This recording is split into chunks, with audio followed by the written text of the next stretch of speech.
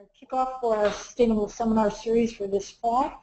Um, as you may have read on the announcement, uh, the theme this fall is sustainability planning, uh, vision, and value. And we will be having a series of uh, seven seminars on that topic this year. The whole schedule is, we, we sent that out and it's available out, out here uh, for everyone. And our next seminar in the series will be on September 25th, um, which will be a webinar from Chicago on facilitating employee engagement and sustainability initiatives. So if any of you um, wish to attend that here or you can watch online, that'll be available. So um, today I wanted to say um, for those of you who are new here, my name is Nancy Holm. I'm Assistant Director here and organize the seminars along with Beth Luber, who's sitting up here at the front. And we want to thank uh, Robert Clegg here, who is our IT person making this all possible. We um, broadcast these live, and then we also will archive this, and they'll be available on our website in, in a few days. We have, from the past seven years, we've been doing the seminar series. Um, we have 90 uh, seminars available on our websites on a variety of topics related to sustainability. So if you're interested, you can go there and, and look at some of the other seminars from the past. Today, we're very fortunate to have with us uh, Deb Jacobson, who's with our Illinois Sustainable Technology Center. Uh, she's in our Oak Brook office where she's the um, Senior Operations Manager for our Technical Assistance Program. She's been with the center since 1995. She works as an environmental engineer providing technical, environmental, and safety compliance assistance to industrial facilities throughout Illinois. And she oversees our Illinois Governor's Sustainability Awards program. And that, uh, for those who are interested, that will be coming up on October 23rd in Chicago. And you can look on our website for more information about that. Um, Ms. Jacobson works closely with federal, state, and local government agencies and industry trade groups on environmental matters affecting industry. In addition to her work in Illinois, uh, Ms. Jacobson is the auditor for the Sustainable Green Printing Partnership. And this is the industry standard for certification and continuous improvement of sustainability and best practices within the print manufacturing uh, operations. She is also director of the US EPA-funded Printers National Environmental Assistance Center, a virtual resource center housed within ISTC. Through the center, Ms. Jacobson works with other ISTC staff to provide regulatory, technical, and pollution prevention assistance to printers throughout the country. So with that, I'd like to introduce Deb and have her get started on her talk for today. Thank you a couple of disclaimers. It is allergy season for me, so if I start getting froggy or whatever, I've got my water, but I'll, you know, I'll do my. Um, I uh, do tend to sometimes get a little uh, uh, choked up. Um, the other thing is, is that uh, I did not expect it to be so cold. I don't normally wear a hoodie to a presentation, but it is. I'm freezing up here, so bear with me in my attire. I'm not not quite as fashion fashion forward as I might ordinarily be. Um, just to kind of get started and give you a little bit of background about this presentation is that, um, as Nancy mentioned, is that I am a auditor for our for the Sustainable Green Printing par Partnership, and this that program is very much intended to be a um, facility-specific um, program within each uh, in, within a, a, printing operation or a, a packaging manufacturing uh, organization and um, as the SGP uh, um, auditing um, protocols is that it's essentially a third-party verification that organizations are or, uh, putting together a sustainability management plan, they have people engaged, and that they have um, not only a written plan, but they're actually implementing it. And so this presentation is largely based on the, uh, the requirements and um, protocols um, for the, the SGP certification. Um, it's largely intended to be a practical guide to developing a, a sustainability plan, although I do acknowledge um, along the way that you know there's uh, programs like the Carbon Disclosure Project and things like that um, which ultimately some of these activities that I'm going to cover today will um, could prepare an organization to uh, enter into the carbon disclosure uh, reporting project. It's not intended to be that higher level type of, say, corporate sustainability program. Um, I do use a lot of uh, acronyms and abbreviations along the way. Um, I will try to uh, make sure that I spell them out the first time I use them. Um, but if, I, if you catch me, just raise your hand and tell me you don't know what I'm talking about. We're going to start off with the first one, which is Sustainability Management Plan. You're going to hear that over and over. It's an SMP. Um, the other thing that you're going to hear over and over through this presentation is training, metrics, and communication. Remember, you're going to hear that. Um, and finally, um, I am not one to, and organizationally we are not, we typically don't do this, we are not here to, to define what sustainability is, or um, you'll hear the, the term zero waste. Uh, we do not define that, um, or I don't. Um, that's up to the organization who is implementing a sustainability plan to make that definition themselves. Um, so developing a sustainable, what we're going to cover today is um, it, um, where to begin, we're going to talk about objectives, um, scope, and limits, uh, defining your expectations of your sustainability program, metrics, training and communication, and then celebrating success. So where do we begin? Um, most, most people take the, the position that top-down management is the, you know, the, the way to start a program, that it's imperative that you that you have, um, you know, your leadership behind you in establishing a, a, a sustainability management plan. I'm going to tell you that it's great, but it's not an absolute. Uh, and, and we have living proof among our governor's sustainability award winners. We had a, a, rather large publishing company two years ago apply for the award, um, and um, as part of that process, we went and visited this company, and, and I asked them, you know, what motivated you? Did you have, you know, your, was this a directive from your corporate office? And it wasn't. It was a group of employees that got together and thought, you know, gee, this is the right thing to do. We're doing a lot of remodeling on our building. We should be putting in, you know, low E new windows and whatnot. And it was very grassroots. It then snowballed to the point where their corporate office took attention to it and they formalized the program and, and hence applied for the governor's award uh, and did earn that award. Um, but I will, again, I'll reinforce that management support is, is tremendous, um, but it's not absolutely necessary. So um, where to begin and why? Um, you need to consider what's motivating you um, to start the sustainability program. Um, it can it can be based on internal group. Um, it could be the uh, key customers of your organization. Um, if you're in a, in a, business or even as a university, it could be the students are uh, you know, demanding that you adopt a sustainability program. It can certainly um, give you competitive edge, um, and, and especially in the in the today's marketplace.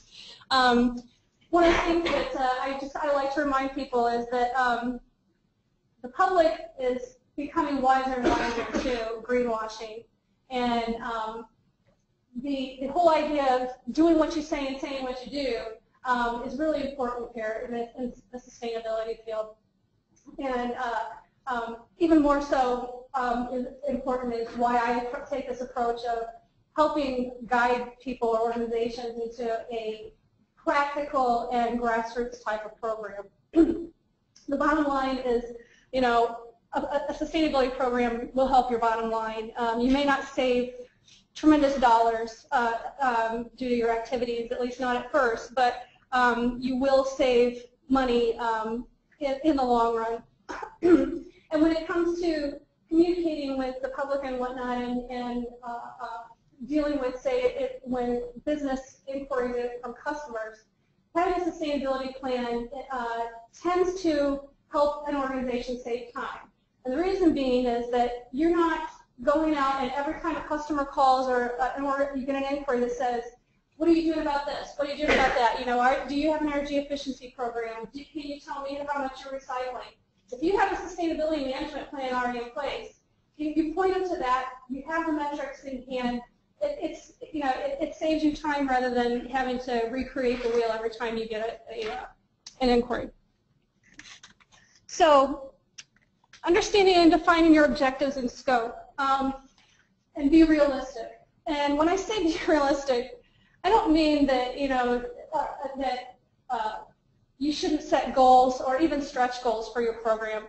But um, think about this: is that do you really want to set out to change behavior of somebody that's that you know that you're going to change the world? The the, the entire community of, of say Urbana, Illinois, is going to start recycling because you, you guys developed a sustainability program or your organization did and that's one of your goals. That's not really realistic. Realistic goals are considering the footprint of your the facility that you work in, um, how what you want to get out, you know, determine what you want to get out of that program.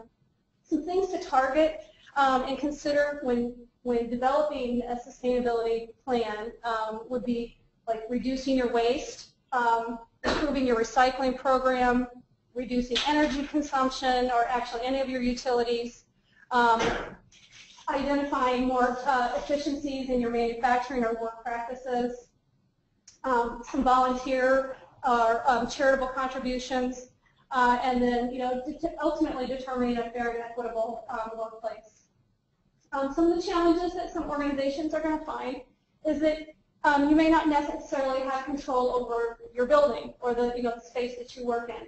Um, and the way I kind of approach that is, say for instance, like uh, you know, a, a, facility that is leased, um, you may not necessarily be able to replace the roof with a green roof or you know, a reflective roof because you don't own the facility or you don't have the budget.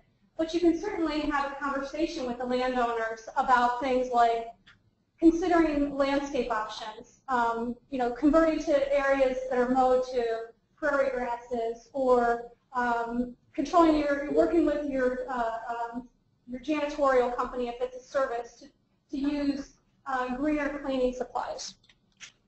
So key thing, some of the key things of developing a sustainability plan, as I said, is you know your metrics. Um, I recommend uh, that when you're starting a program that you, you establish a baseline uh, and start training your information. And so, you know, working from a 12-month calendar um, is, is um, recommended. Uh, again, you start your baseline, um, start gathering, uh, looking at your trends in terms of interim uh, um, metrics on, on, project reporting, um, identify your annual savings, um, and two important things is normalize your data. And what I mean by that is if you do not have, you can, you can choose any, almost any metric that you want to normalize your data. It could be units of production if you're a manufacturing facility. It could be, you know, units are your, sales figures for the, the month or the year. But if you don't normalize your data, then you, you cannot account for um, sales or you know, growth in your organization or contraction, if, that, if that's the case. Um, it will, but when you normalize the data, you're seeing it, you, you will see trends um, that, that overcome those changes, those constant changes that an organization will typically see. And when I talk about sunset, um, what I mean when, when you're gathering metrics, there are certain projects that um, you may want to track them for, say, a year or so, um, but the, it may not make sense to track them year upon year. Uh, I'll use an example. If you did a, um, a compressed air study uh, in a manufacturing facility, that's kind of a one-time benefit, um, and that you wouldn't necessarily want to keep calculating those savings year upon year because you really kind of finished that project and, and uh, you need to you know, um, move on to the next opportunity to, um, of, you know, be falsely calculating savings on a, on a one-time kind of project. Some of the keys that, you know, of a, of a, a successful sustainability program, uh, again, metrics, training, and communication. Can't stress that enough about communication. Um, your two uh, key areas are employees and contractors. Um, if you think about um, who's coming into your building and ha who has who can impact your sustainability program um, and who has, can affect uh, change, um, your employees and your contractors, particularly if you're in an industrial or manufacturing environment, the people on the floor actually doing the work are the ones that are going to be um, you know, most impacted or most impactful for a successful program. Um, but you also want to consider your vendors your, and suppliers, um, your potential, potential and current customers, and then your community and the regulatory world, um, that they, they will take notice of the program. So some of the key elements of, of your sustainability program um, is that you should, uh, we, I recommend that you establish a sustainability team um, or you know, a, a committee. I always recommend that the team members be representative of your organization. So you wouldn't want um, four people from one department and one person from, say, administration or accounting, you, you want to have a, a number of, of, views and experience as participants. Uh, and, and, again, I'm going to routinely refer to you know, an industrial manufacturing kind of situation. Um, I always recommend that you have you invite or have at least one team member that's um, a on the floor kind of operator or man, you know in uh, manufacturing person because they're going to have a whole different perspective than, say, your management team has. Um, the second thing is, is, establishing a sustainability policy um, signed by top management. This is a, is a real nice way of, of getting people, getting yourself started, establishing uh, what the company's goals are, and, and it also becomes a, um, a way to communicate with the public and, and your customers um, on what, what you're doing. Um, and then finally, the written management plan and your implementation strategy. So this is kind of a useless slide for you all to read, and I don't expect you to be able to read it, but it does give you kind of an overview of a sustainability policy. Um, and basically what, we're say, what I'm saying here is that um, the policy is saying that it, you commit to complying with local, state, and federal regulations. It, um, you provide for continuous improvement in your organization. Um, it, it's a dedication to reducing waste and improving efficiency. Again, it's signed by the top, top uh, level management in your organization. So what goes into your uh, sustainability uh, plan? Um, again, the uh, when we're talking about the written document, um, you want to. I, I would like to see, uh, you know, purpose, scope, and objectives, which we kind of talked about earlier. Um, your planning and metrics and review. Um, your facility aspects and impacts. And what I mean about that is that each organization is going to be a little bit different um, you, uh, from one place to the other. Uh, and, and you may have different controls over different things. So uh, where, where you um, make this your own is to describe that you have these features your organization. Um, you may want to even point out whether you, the property is owned by your company or it's leased. Um, that kind of spells things out. Uh, again, you'll have a section on your sustainability team, um, including your committee members, your charter and objectives of this, the, the committee team. One thing I want to point out about the, um, the sustainability committee that I recommended that I recommend that you have a team leader. And if you're in an organization that has an environmental a safety or sustainability manager, they should not be the team leader for the sustainability committee because it, it puts everything on them to have to, you know, be responsible for the whole program. It's better to have another team member from your organization be the team leader and to constantly, um, getting back into the, back to the communication aspect, is with your internal communications, people need to constantly be reminded, this is not Joe's sustainability program. This isn't the sustainability committee's program. It's the organization's committee uh, uh, uh, program because everyone will have impact on it and not one individual can do everything. So th this is a completely useless slide too, but I do want to just, you know, it's, it's to reinforce the, the idea of having a written plan. Um, but what, what we want to see um, in, in kind of the outline or overview of your sustainability management plan is A, that sustainability policy. Um, your uh, the equipment uh, it should address equipment and facility maintenance, um, landscaping. Um, what I mean about landscaping is that you develop a policy and procedure that you use um, alternative low chemical types of, of treatments and, and um, say you, are going to set a goal for using perennial plant plantings, particularly when there's uh, replacements. Um, for many organizations, sadly, um, they're losing a lot of their trees because of the emerald ash borer and some of these other uh, diseases wiping, you know, sweeping through Illinois. Um, that you maybe want to address the, the re-landscaping of, of your property. Um, again, uh, talking about janitorial is using uh, um, like a, a, green certified janitorial, uh, uh, you know, for cleaners and for practices, uh, you know, reduced, perhaps even reduced number of times that uh, cleaning is done.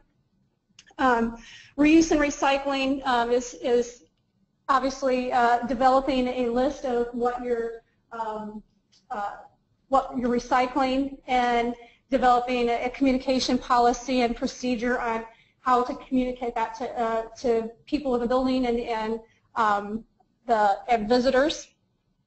Um, social policies. Uh, when we get into sustainability, it's not just about you know the environment and, and reducing your waste and your utility consumption. It's also about the social aspects. So um, you know, some of the policies that, that I would want to see in a sustainability management or an SMP is um, policies on minimum wage uh, standards for your facility, um, an equal employment opportunity um, environment, uh, that, that the company's complying with child labor laws for the state and immigration laws, and that they accommodate people with disabilities. Um, some other things are is that, you know, maintaining uh, environmental health and safety compliance, as I mentioned before um, identifying opportunities for communicate or continuous improvement, and then that and that kind of goes hand in hand with evaluating the SMP. Uh, you know, if an SMP is only as good as the the the paper it's written on, if you're not continuously looking at it at it and saying, does this make sense from year upon year, uh, and and having uh, a, a, a, formal review um, and adjustment as needed, um, typically annually. Uh, and then we get into implementing your, your sustainability program. And when it comes to projects that you've already accomplished, um, unless you have all the time in the world and some you know, great motivating factor, I recommend that you don't necessarily need to try to go back and develop baseline metrics for those programs. But I do strongly recommend that you do that you, you inventory and you capture that information. If you're, gonna, if you're just starting out to formalize your sustainability program, you're going to find that there's a lot of things that an organization typically has already done. You know, you've probably already got at least some sort of recycling program in place. Um, maybe you've got already got PLC controls on some of your manufacturing operations, but you've never, you didn't benchmark it at the time, or, but you still want to capture that. Again, it's all about you know communicating um, what you've already done, and then moving forward. So um, when it comes to new opportunities, um, think outside the box. Actually, even when you're looking to identify your previously your previous projects that you know were kind of pre-SMP, think outside the box of what you've done. You know, there's a lot of things, and we, um, my group, the Technical Assistance Program, when we go to visit companies that have applied for the Governor's Sustainability Award, we routinely find that an organization will have implemented a project that they didn't associate with um, the environment or sustainability, and we help them make that connection. So, um, you know, again, think outside the box, engage everyone in the organization that you can. Um, not only will it uh, um, help you get information about ideas for new projects, and but and things that you've already done, but also helps raise awareness um, of, of the program and engagement. So what this slide it does is it helps it helps you determine whether you uh, once you inventory your you know your team has developed this big list of projects that, um, for sustainability um, plan uh, implementation. Uh, you have you come together and and now it's time to say which projects are we going to implement. Well, this is a very simple chart, but it's a very useful chart that myself and my team here at ISTC, when we're working with industrial facilities, use a lot.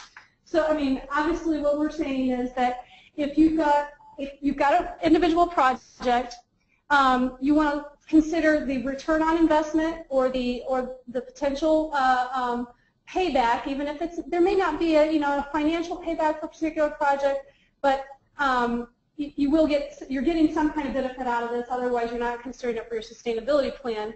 And so um, when look at, when kind of prioritizing them is to think, okay, it's a high pri it's a high ROI, but it's and it's easy to implement. Well, it's automatically going to go into the the box that we we're we're going to do that project.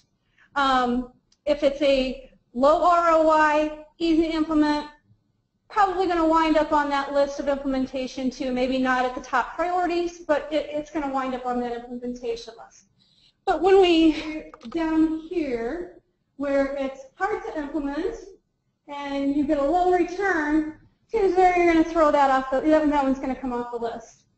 And the high, high ROI, hard to implement, that's probably going to wind up, you know, on your final list, it may be at the bottom, but, you know, those, those particularly when you're talking about cost savings, they, they kind of tend to bubble up a little bit more. But this gives you a real simple and fast way of, it, of your sustainability team uh, weeding through all those project ideas. It also gives you an opportunity to, in a very simple way, communicate back to your employees who have given, you know, they've contributed these ideas to your, your committee and you want to show them that you're, you've considered it and be able to tell them why or why not you're going to implement that, that suggestion. Um, you know, and just, you know, simply saying, you're fell into this box, therefore we're not going to do it right now. That's and and so it gets it, it's a pretty quick visual way of of explaining things. so um, once you've identified those projects, um, you want to develop a project implementation plan. Uh, and I um, always recommend that you, it's kind of like the KISS method. Um, for project implementation plans, you use the SMART method, and that is specific, measurable, assignable, realistic, and time-related. So you would, uh, for each of your projects, you would develop a project name, um, your objectives and targets, um, identify a project manager, and going back to what I said before, this doesn't necessarily need to be a sustainability committee member to be the project manager or the other team members contributing the project. But this, that team, that project manager would be reporting back to your sustainability committee um, on the progress of, of the program. Obviously, you want to put an implementation schedule, have realistic goals. You know, if it's um, if it's a simple thing, you may want to say it's a six-month project or a 12-month project. Others maybe even a couple years. Resources needed maybe that it's you need other employee time. Um, you may need some training to help implement the program. Um, that may be needed from outside sources, so you want to identify that ahead of time. Um, budget, obviously some things could be no cost, but you at least, you know, identify that in your project plan. Um, and obviously, as you once you develop these project plans, um, and some of them, in, in, depending on the situation and the cost, in particular if it's a capital expenditure, these project plans will help you justify to your administration, top-level management, um, the, the request for capital to invest in this. As is the previous slide with the, um, the, the project evaluation um, prioritizing. Um, and again, the schedule, or going back to the slide, is the schedule for review and evaluation and reporting. You want to do that periodic evaluation and um, measurements of of the project. And, and you know, in some situations, it may be that uh, that, that uh, evaluation reporting tells you that um, this project is really not turning out to be the what we expected. We're going to pull the plug. And there's nothing wrong with that. So some things to consider when you are addressing um, or developing your projects and, and um, the, the, uh, your sustainability plan is um, think about environmental indicators, uh, your indoor air quality projects, emissions, waste, recycling. Um, you want to think about your uh, your plan should also address some uh, think about social aspects um, in terms of labor and immigration laws, responsible sourcing and purchasing of your your input materials, even um, uh, things as simple as office supplies and things like that. Again, landscaping project practices are uh, should be considered um, as part of your program. Your building envelope, um, and then some other ideas are, to keep in mind as, as your plan matures is, you know, considering resource efficient fixtures. So your lighting, your faucets, your toilets, those things may not be something you're replacing every day unless you're doing a major addition or a, a, re, a remodel, but they do tend to, you know, so the, as buildings age and whatnot and you use them, things get, you know, have to be replaced. And so the, the, the suggestion is work with your maintenance or your facilities people that when they do replace these fixtures that they're, they're going out and they're getting the most resource efficient, say low flow water uh, or faucet, um, toilets, that kind of thing. Some additional things to consider doing um, as part of your uh, sustainability program. Um, con conduct an energy efficiency opportunity assessment. Um, where, where you're in an industrial setting, uh, most organizations run their plant off of their equipment off of compressed air. Um, compressed air, number one, is the, the most expensive utility in a manufacturer or in an organization.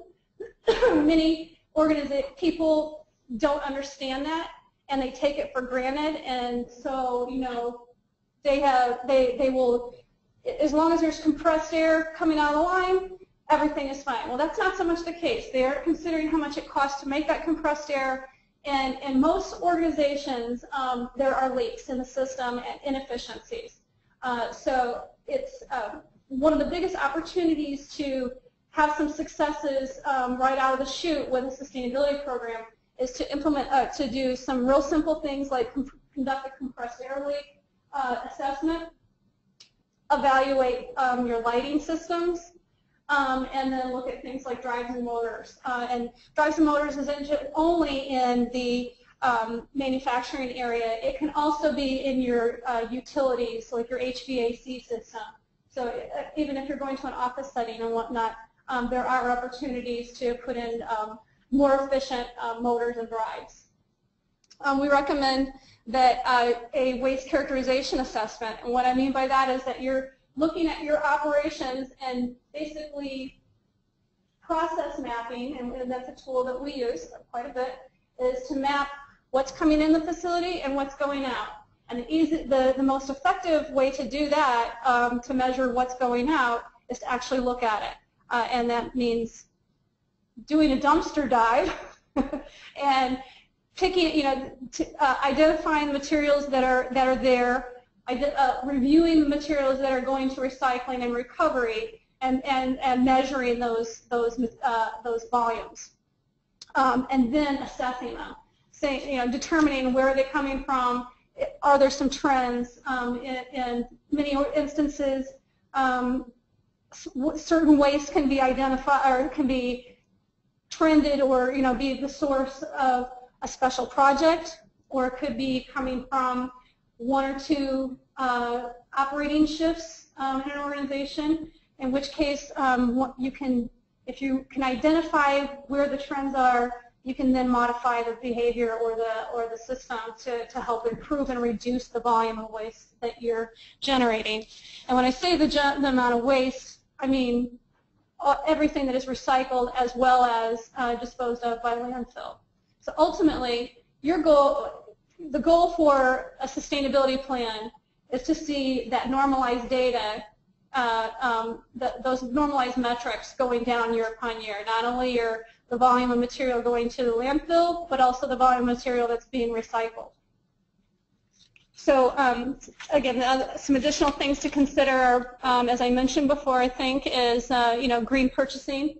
Think about your janitorial supplies, your office supplies, um, and assess your office peripherals. Um, what I mean by that is um, there's various opportunities to get some efficiencies there, um, and working with your IT group is probably the best place to start. Um, is things as simple as setting your uh, each one, each employee's computer to default double-side print, um, default uh, um, employees' computers to print black and white, so that they have them. If they need color copies on a you know on a color printer, that they that they um, manually go in and override that. But it's a it's a less resource-intensive process. Um, the other thing is is, a, um, is to think about um, doing an assessment of the number of office peripherals that you have in, in your work environment. What I mean by that is, um, it, and it kind of it will happen over time, and you probably have to address it, you know, more than one once in say a five-year period. Is people will say, well, I need that printer is uh, not being used anymore. I want it at my desk, and um, that kind of builds up and builds up. And what you end up with is the, you're ordering office supplies or toner, uh, you know, cartridges for multiple uh, units. Um, you've got so you've got a, the the waste from the cartridges, you've got the cost from the cartridges from all these different units, and and the maintenance. Um, and so those those factors add up over time. Most organizations have a networked printer system, and the number one excuse I hear from people is, oh, but I have to print confidential documents. Well, most modern uh, um, networks are now set up, and, and particularly the equipment, they're set up that you can program or have them program so that you put in a, a personal code um, so that your, your confidential document doesn't spit out at the, the, the, um, the printer down the hall for everyone to see. You go in and you manually print it, uh, you know, put in your code and, and print it yourself uh, at, with, at your leisure. So there's there's always going to be some pushback or excuses on, on why I need a printer at my desk, why I need it, I, you know, why I can't have um, print documents um, on the network or off the network printer. Um, and I understand that behavior change is, is a challenge, um, but trying to work through those and be collaborative with people is really going to get you a lot, a lot further faster. So um, there is help, when I talk about these programs, there's help out there. Um, there's a lot of incentives and rebates, particularly for energy efficiency uh, projects, uh, in particular lighting. Uh, organizations like the Department of Commerce and Economic Opportunity have grants and loans, or well, grants and rebates available. The utilities um, throughout Illinois have a number of, uh, uh, rebates and assistance available, um, particularly like um, in the northern Illinois region, ComEd is a service provider, and as a, a service of your ratepayer uh, uh, fees, they have they have technical assistance engineers that will um, come to your facility and do an assessment and provide uh, you feedback on opportunities for um, energy efficiency um, projects, and they will also help link you with the applying or help you apply for rebates to help uh, um, pay for those programs. Not only through ComEd, but also their trade allies, which is the many of the vendors that they, they work with um, for those, those the equipment that might be needed. Um, the other uh, the other source is um, your state and federal or, and local government agencies. More and more, you can call, like say the city of Urbana, and they'll have a recycling coordinator that can provide you with some assistance and resources and possibly even link you up with some local programs. Um, there are many programs, uh, for instance, uh, for if you're looking for information or case studies um, to see what other organiz uh, you know, other facilities have done um, that are available through the federal and, and state uh, government agencies. And they'll also tend to um, keep you in mind, once you kind of build a relationship with them, they'll keep you in mind when there's new things. They'll make sure that they, they reach out to you and let you know about those, those um, opportunities. And then finally, um, I have to put in a plug for um, ISTC and my group is that um, the te technical assistance program here in Illinois, uh, our uh, Sustainable Technology Center, is available to um, work with businesses throughout the state um, and to not only put together a sustainability program, but to help implement it. Um, and you know, our objective is to help reduce solid and hazardous waste um, before they are released to the air. So um, it's it's really a, um, our our mission to be working with all of you.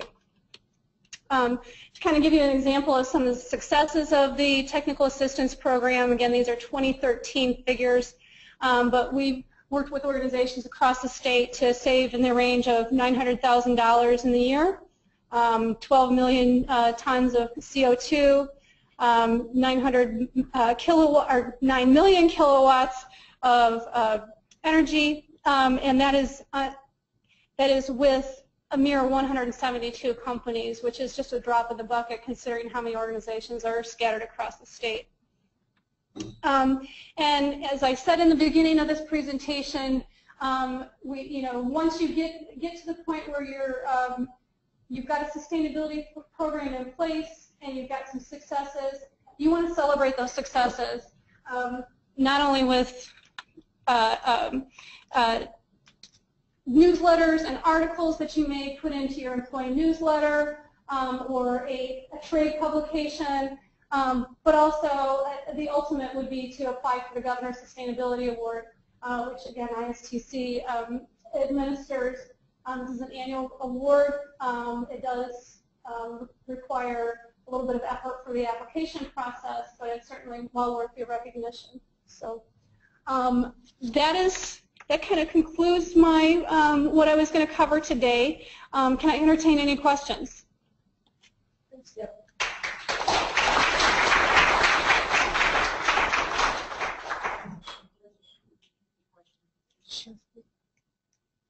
Uh, and uh, very nice presentation. And one of the things that strikes me as you went through that is that this would, especially there's a number of companies out there that are looking to do a B Corp or benefit corporation.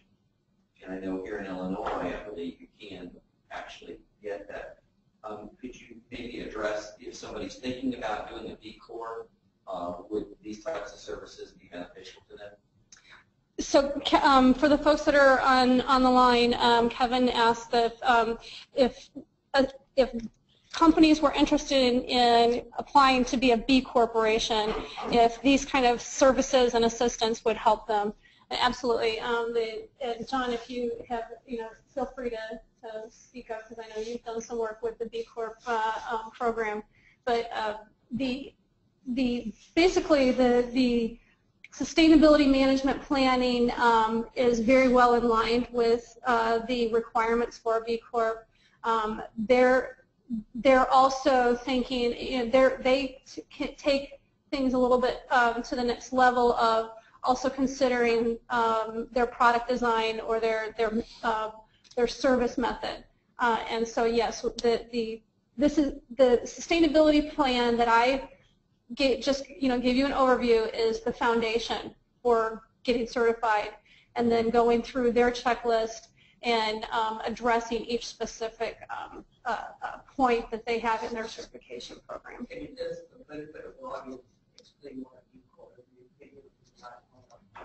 A B corporation is it's it's it stands for benefit corporation, and so um, they it's a independent uh, registration body that is national. Is it international, John? International. International. Um, and maybe you want to address the, that a little bit um, better than I can. Should I go up there? Yeah, please do. Uh, sure, I'll give a little B Corp plug. Even though I'm, I'm an ISTC employee. This is John Mulrow from sure. uh, our Oak Brook office. And we've had a few B Corps win the Governor's Sustainability Award. So basically, there's a there's a nonprofit organization called B Lab. Um, they're international they help you through an assessment, a B Lab, a benefit corporation assessment, but actually in Illinois, there's a there's a designation, a legal designation for being a benefit corporation, and that actually changes your legal, I guess, uh, requirement for what you are. So if you're registered as a C corporation, you have a, a duty to maximize return, financial return for your shareholders if you're a benefit corporation, you also are, you can be held responsible by your shareholders for benefit to the environment and society as well. So that's actually a that's actually a legal change that the state of Illinois made. Good then idea. there's B, I- I there's B Lab, which is the national you. organization that will help you do that. Thank you for, for clarifying that. Yep. Other questions? Your point about normalizing the data was, I think, very interesting. But I was reading a report from the city of Philadelphia. So the city of Philadelphia had a very ambitious uh, climate action plan goals. And over the years, they had, they started in 2008. So they had set a very ambitious goals for themselves to reduce the amount of CO2 emissions and so on and so forth. And after five, six years, they really haven't seen number. Here they're doing all these activities and not seeing anything. they're trying the best to do a lot of things. And then, uh, the most recent report, the explanation was, oh, we were to normalize for the uh, weather changes in weather, you know, temperatures, and Right. maybe that's the reason we think we're not making the progress we think we should have by now. So now they're going back and trying to normalize the data, and hopefully they'll come up with a better scenario than that. Right, right. So I think it was very positive. So for those on, on the line, uh, um, the, the uh, question or the comment was that it was that appreciated the discussion about normalizing data when you're assessing your metrics. And to that point, um, I should have mentioned that there are a number of tools um, available that are free uh, um, and easily accessible uh, um, on the internet to help you calculate some of your um, uh, emissions and, and to calculate baseline and, and um, uh, uh, benefits or you know successes to include like your greenhouse gas emissions. EPA has various calculators on their website that you can access that can help you evaluate how you, your progress is going. Other questions? Yes, sir. Anand. Um, When you talked about the approaching companies and going for ROIs uh, Hard and easy. hard and easy to go, how can you elaborate a little bit how difficult it is to uh, assess uh, ROEs, the return on investment, I mean, you ahead of time, and how complex is that? Is that a difficult process? Sure. So the question is, is, is it hard to determine a ROI to um, to then help you a, a company or organization prioritize which projects they're going to implement? And the, the short answer is, it, it, if you are wanting to create a, an exact dollar figure for a pro- particular project, um, obviously it, it varies from project to project.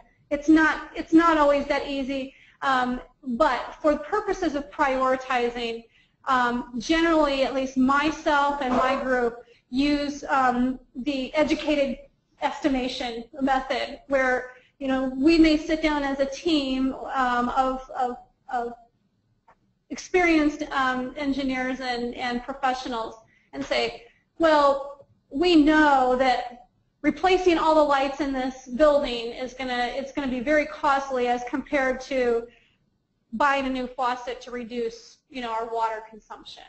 You know, I mean those are probably it's probably a poor comparison, but you know we kind of ballpark the the, the estimation, and then as the if if we if the project does go forward, then um, spend time with contacting vendors um, to get a more detailed uh, estimation of, of and, and ground truthing.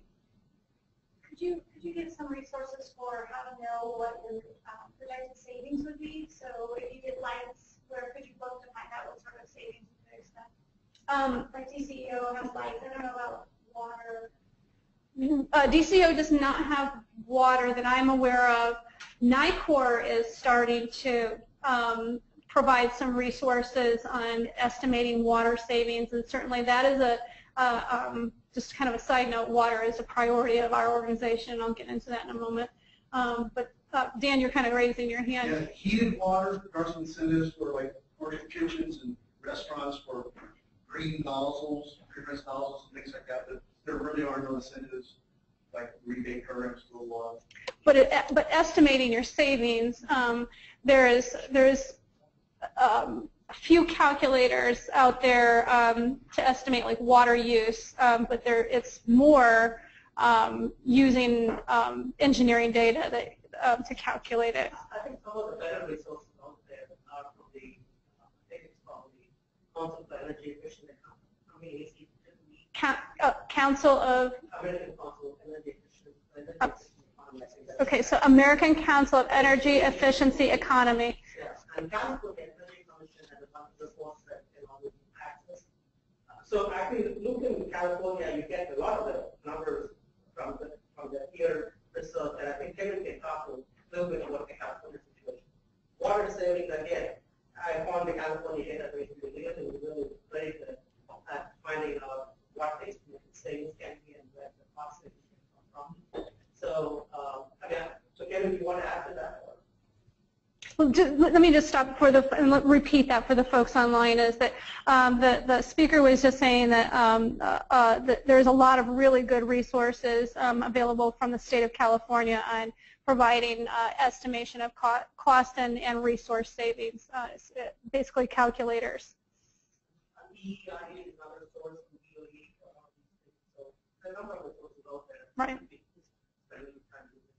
and I think that to find that, you can go to the California Energy Commission. They have a lot of free downloadable reports that you can get those, those types of calculators.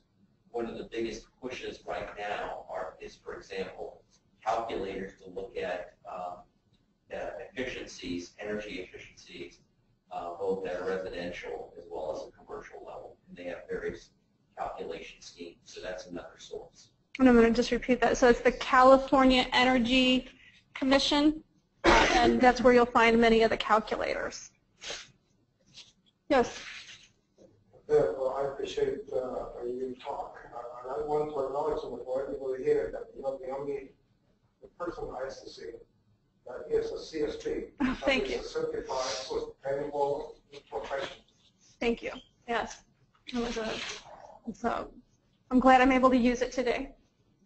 Another thing about the, the water, essentially, to answer your question, that's here in Illinois. Since Illinois is not a water stressed state, um, there are no incentives for, water here, but now here in Florida, California, Arizona, Texas. If I was talking, I was talking about if you were to install a low flow faucet, how could you estimate what your state, what your cost avoidance is from not having to pay for that water? In order to be able to turn Relatively simple, Those- you know, a lot of times water projects are very good paybacks, uh, and it's pretty simple, you know, calculations, that, uh, you know, most, most uh, faucets have ratings, most flow faucets have ratings, you can do some estimations. So basically the engineering Scale, calculations. metering. There's a lot of things you can do, it's real simple. Does WaterSense have calculators? I'm not aware So of it. the, so the resource, of the list of resources you gave, the ISTC one is an option, but the energy would not be. There's, you have a list of places people could